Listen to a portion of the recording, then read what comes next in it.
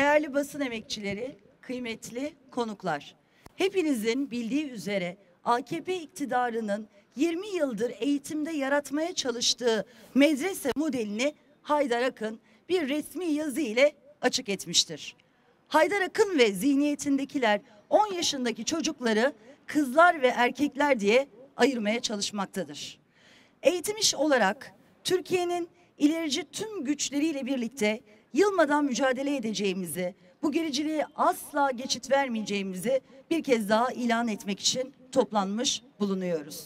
bu ülkenin taşında, toprağında, bu ülkenin kurtuluşunda, kuruluşunda emeği olan, bu ülkenin geleceği olan çocuklarımıza sahip çıkma sorumluluğuyla yan yana duran, dayanışma ruhunu gösteren, bu ülkedeki her bir çocuğun eğitim hakkını kendi önceliği olarak gören, bugün eğitim için buradaki mücadelesinde yanımıza gelerek bizimle dayanışma içerisinde olan destek veren tüm katılımcılara, tüm dostlara yürekten teşekkür ediyorum.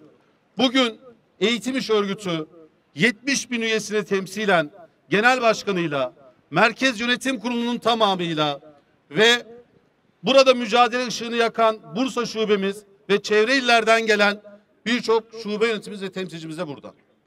Tabii burada olma sebebimizin böyle bir hadsizlik olmasını istemezdik, arzu etmezdik. Bursa bu ülkenin aydınlık yüzü. Bursa bu ülkenin geleceğinde inanıyoruz ki birçok insanıyla, emekçisiyle, çocuğuyla birçok da- noktada emeği olacak değerli insanların şehri. Ancak maalesef ki olayın ilk yaşandığı günde şöyle bir ifade kullanmıştık. Bu olay münferit değil demiştik. Bu olay şahsi bir olay, hadsiz bir müdürün kendi başına yazdığı bir yazı değil. Bu olay onu oraya atayan, onu destekleyen, onu besleyen bir siyasal anlayışın getirdiği bir sonuçtur. Bugün de failleri net kendini ifade etmiştir. Beş günlük bir tatil soruşturması gibi toplumun oradaki tepkisini bir süreliğine kontrol etmek amaçlı biraz toplumun o tepkisini azaltmak amaçlı gö- göstermelik bir soruşturmayla beş günlük bir ara tatilde tekrar görevine iade ederek maalesef ki bugün bu durumu devam ettirmiş ve bu gericiliği beslediğini gerçek failinin de aslında o okuldaki müdürün değil de Milli Eğitim Bakanlığı'nın tam da kendisinin olduğunu. Eğitimde patlak veren bir gericilik skandalı daha AKP eksenindeki MEB'in çabasıyla örtbas edilmek istenmekte. Bursa'da harem selamlık eğitim için harekete geçen bir okul müdürü hakkında soruşturma başlatıldığı ilan edildikten 5 gün sonra sessiz sedasız iade edilmiştir.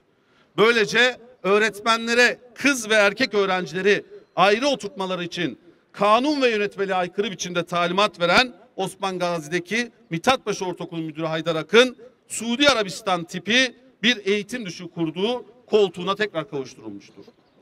Skandal ilk patlak verdiğinde sırada soruşturmanın takipçisi olarak bu skandalın göstermelik hamlelerle unutturulmasına müsaade etmeyeceğimizi ifade etmiştik. Gelinen noktada gerici müdür hakkında başlatılan soruşturmanın tam da ima ettiğimiz üzere sadece kamuoyunun tepkisini dindirmek amacını güttüğünü bugün de kanıtlanmıştır.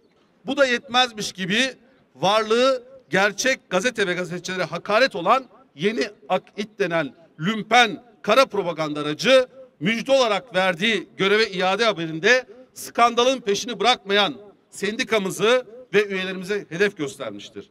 Utanmadan çağdaş eğitim için müdahale eden bizleri kumpasçı ilan etmiştir.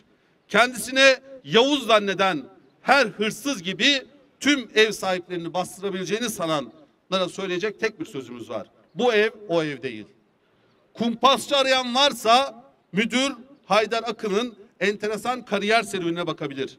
Zira sendikamızın yaptığı araştırmaya göre eğitimde şeriat arzusuyla yanıp tutuşan bu müdürün kökleri çok daha derindedir. Ve dolayısıyla bu hadise AKP'nin eğitimi kimlere emanet ettiğinin göstergesidir. Bugün eğitim iş örgütü olarak biz o okulu ziyaret ettik. Öğretmenlerimizin gözlerine baktık. Vahim tabloyu onlardan dinledik. Ama onlardaki ışığı aldık. Onlardaki enerjiyi aldık. Bu çocuklara eğitimi eşit, nitelikli ve cinsiyet ayrımcılığından uzak bir şekilde uzaklaştırma görevini üstlenme sorumluluklarını onların gözlerinde gördük. Müdür bey okula gelince helallik istemiş toplantıda.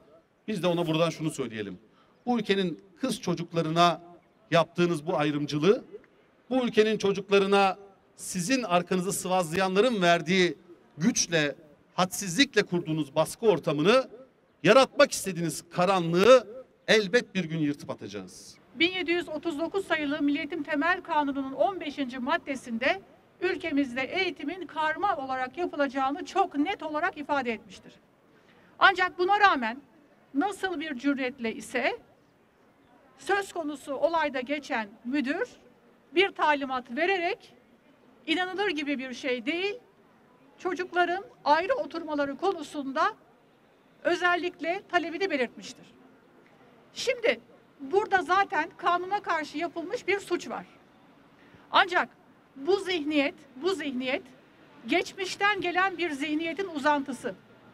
Bu zihniyet çocukları birbirlerinin arkadaşı olarak değil, çocuklara birbirlerini karşı cins olarak görmelerini sağlamaya çalışan bir e, zihniyettir.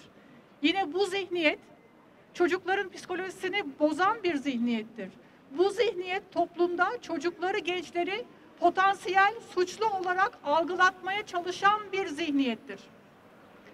Aynı zihniyet bu olay vuku bulduğunda müdürü görevden almamıştır.